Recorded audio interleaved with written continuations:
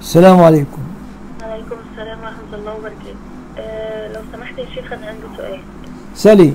بس أنا في شخص آه جاء تقدم لخطبتي يعني وجاب لي شبكة وكده والكلام ده كله تمام؟ وبعد فترة آه كلمنا إخواته وسألنا عليه عرفنا إن هو مزواج يا شيخ بيتجوز بالعشرين واحدة وكل شوية يطلق ويجوز عشرين؟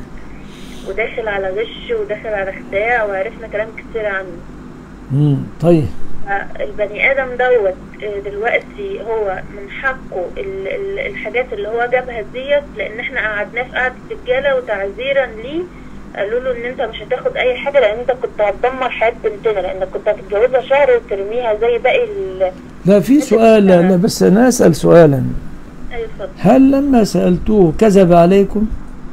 كذب علينا يا شيخ و... و... واهله هم اللي أكدوا الكلام اللي لا عفوا عفوا عفوا.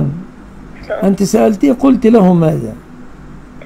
إحنا سألناه قلنا له هل الكلام اللي إحنا سمعناه واللي اهلك أكدوه ده صحيح لأن إحنا ما ينفعش برضو إن إحنا نظلمك وناخد الكلام ده منهم ونصدقه على طول.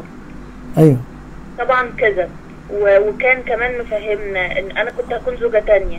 كذب وقال إيه يعني؟ كذب قال إيه؟ قال لا ما حصلش. والكلام ده كذب وافتراء عليا و على العموم أنتم رفضتموه ردوا إليه أشياءه أنت بت- هو بترفضيه دلوقتي حتى بعد اللي حصل ده من حقه يعني أنت تريد تكون حرامية؟ إيه؟ أنت تريد تكون حرامية؟ تاكل أموال الناس بالباطل؟ لا طبعا. هو ما عملش حاجة للآن غلط. معك إلا تدعي أنه كذب. وهو يقول لا أنا ما كذبت. فمش هنحقق ونقول له مش عفوا مش هنبادر وناخد فلوسه ونقول له امشي مع السلامة كنت هتضحك علينا. لا أيوه. يا أختي لا تريدونه رد إليه حاجاته